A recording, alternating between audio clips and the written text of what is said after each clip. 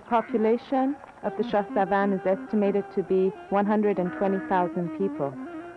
Of these, only 32 tribes, about 40,000, migrate every spring and autumn.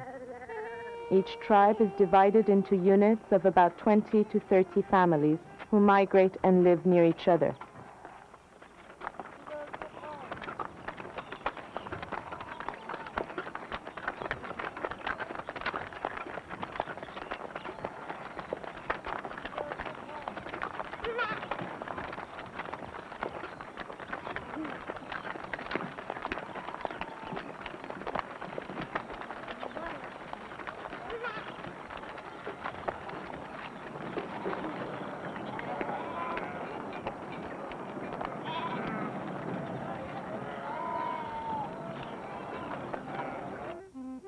Winter camps are located in the Moghan steppe along the Soviet border. The nomads spend late fall and winter in this grassy steppe.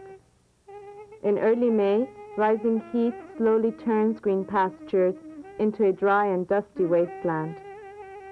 The nomads migrate south to escape the heat. Traveling about 150 kilometers, they pass through valleys and hills until reaching the Meshkin Plain buying supplies like rice, tea, and sugar in market towns like Meshkin, they continue their journey to spring quarters. Here, at the base of Mount Sabalan, they remain for the next four to five weeks. The snow recedes on the mountain by the end of June, and new pastures become available. The nomads then move to summer camps at altitudes of 6 to 13,000 feet. The Shahsavan spend three months in these highlands until freezing September temperatures force them to begin the return migration to the Moghan steppe.